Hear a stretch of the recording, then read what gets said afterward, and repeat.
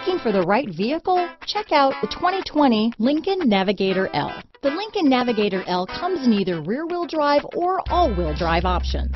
This large luxury SUV offers a longer wheelbase than the standard Navigator.